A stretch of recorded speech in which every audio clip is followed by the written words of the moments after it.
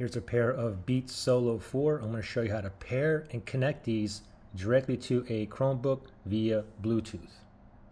First thing is go to your Bluetooth settings on your Chromebook. So we can click on the little launcher down here and you should see a bunch of icons. If you don't, there should be like a little a little up arrow where you can click and see all of your uh, apps here. But we want to go to settings, which is right there. And then from here, we want to go to Bluetooth right there. Now make sure Bluetooth is toggled on. Now we got to tap on pair new device right here.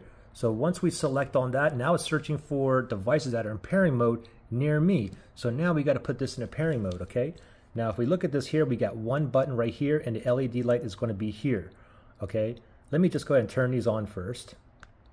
Now what I want is a white blinking light, white, white, white, okay? So I'm not getting nothing right now.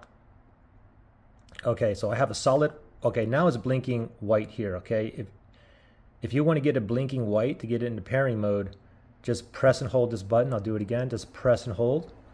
And just keep holding. Just wait until it starts blinking white again. You see it right there? Now it's in pairing mode. Now we're going to go under here. Oh, and it just found it. It just popped up. Beat Solo 4 right there. Let's go ahead and tap on that right there. It says pairing. And now you can see the Beat Solo 4 right there. So we're connected, okay? Now also, you see the power button here to increase volume up or down. You just use the other ear, okay? You can tap it, you can see it right there, or we can go down, or you can just hold it down, and it's gonna go down, as you can see right there. Of course, play, play pause is just the middle button right there.